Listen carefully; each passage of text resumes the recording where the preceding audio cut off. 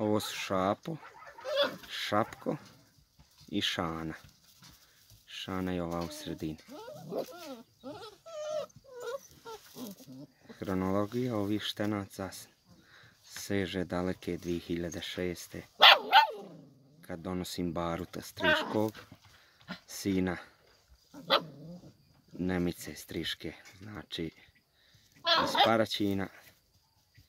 Nemica inače unuka Baruta Restaličkog i čerka Brika.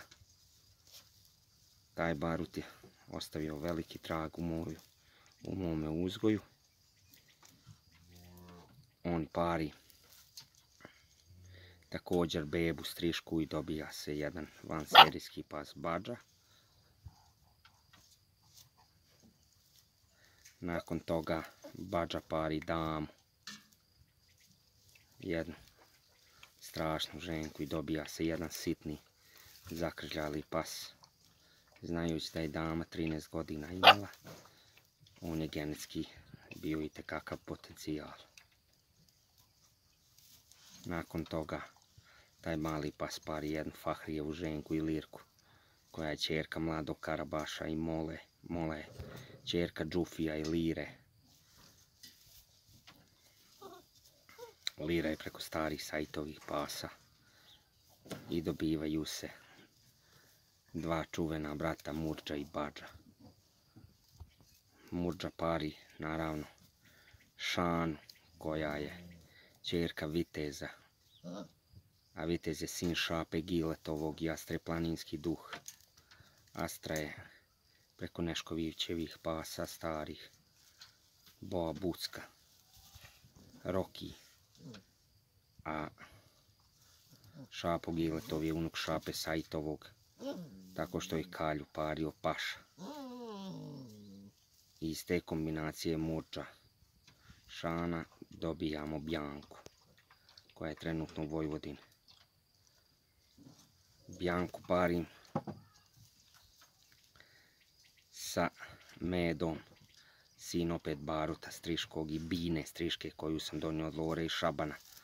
Lora je opet od Neškovićevih pasa i Bone Dinićeve, a Ruš planinski duh pari Bonu dobije se Lora. Loru pari Šaban, sin Mure Striške dobije se Bina. Znači Medo je iz tih kombinacija. Medo pari Bjanku dobije se njihova majka Lora. Otac njihov je Vili, opet iz provjerene kombinacije Šana, čerka Viteza i Kire koja se pojavljiva i preko znači oca. Nju pari Karabaš kojeg sam donio iz Vitine, jedan dobar genetski pas koji mi je trebao da otvorim liniju, taj Karabaš je sin Avdinu, Karabaša i Atene, Atena je od Džufija i Mice, znači opet se pojavljiva Džufi. Mica je od Belkise i Mahirovo kontra maske, a Belkisa je čerka čuvene Done Saudove. Znači,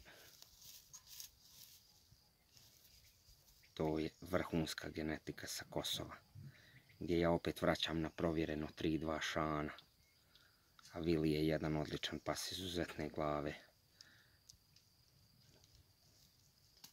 Ovi štenci su odabrani. Naravno imaju i on mana, ali genetski to je po meni strašno. Što se tiče tipa, izraza, eksterijera, anatomije, karaktera. Mislim da će to biti jedna izbalansirana sredina koja će ove štence staviti u prepoznatljive. Pogledajte ti glava, tu glave neće da ni sekundu da omanu. Tu je rad. Tu je rad od 2006. Pogledajte. Ovo je vrh vrhova.